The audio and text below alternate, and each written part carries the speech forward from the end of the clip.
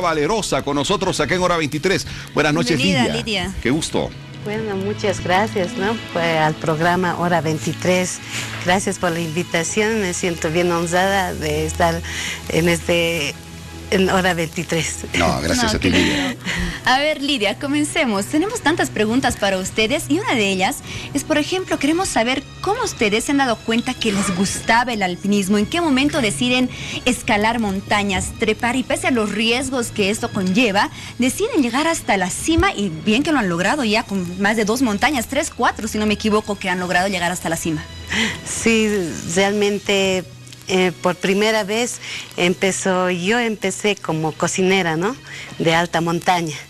Y así mm, me gustó mucho ir, no tal, siempre era mi anhelo ir hasta la cumbre, ¿no? Pero no había esa posibilidad de que yo podía ir porque también como el equipo y todo, y no tenía yo ni equipo, ni botas, ni nada, ¿no?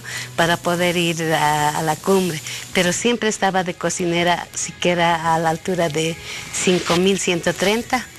Y yo subía... 5.130 metros sobre el nivel del mar. del y ustedes iban acompañando a sus esposos, tengo entendido, porque eran sus esposos quienes realizaban eh, el alpinismo. Sí. Y eran guías de turistas, sí. Sí, sí, sí, mi esposo, nuestros esposos realmente son guías de montaña, ¿no? Y claro, junto con ellos nosotros íbamos a trabajar, como le decía, que íbamos de cocineras nosotros. ellos, ¿no? ellos han ido orientando el camino de ustedes para acompañarles, primero con la rica comida y, y ya después en, en- en las aventuras que, que- que ustedes desafían.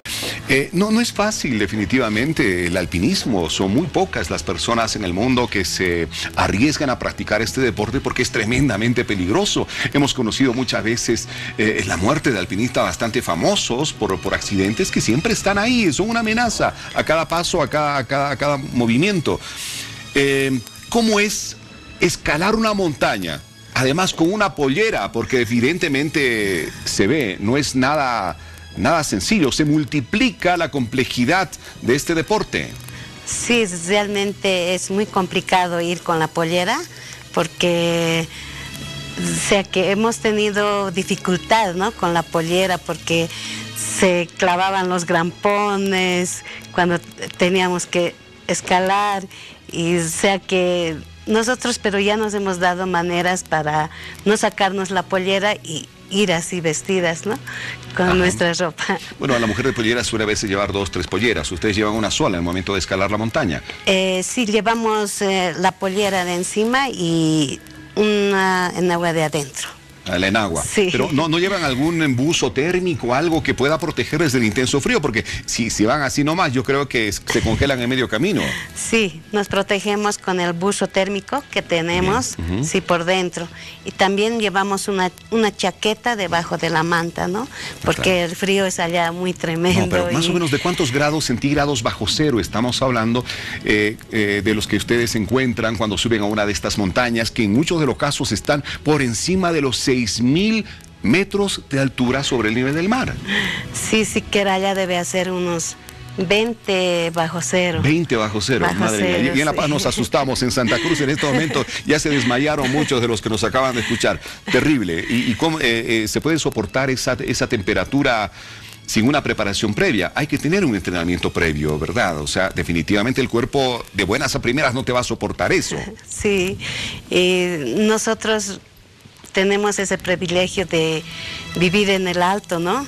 Y casi no hemos tenido mucha preparación para, o sea que a nosotros no nos ha afectado mucho la altura, porque es- es- vivimos en el alto y entonces ahí estamos entrenamiento constantes. diario para enfrentar el frío en la Sí. ciudad del Alto. Felicidades a los salteños que nos ven. Una de sus representantes valerosas, acá una alpinista bastante famosa, Lidia Guayas, con nosotros en hora 23. Y estamos viendo algunos videos, ¿verdad? Algunas de las experiencias que ustedes han tenido. Estas imágenes que vemos, por ejemplo, ¿de dónde son? Bueno, esas imágenes es cuando hemos ido a hacer la práctica en el Glacial Viejo.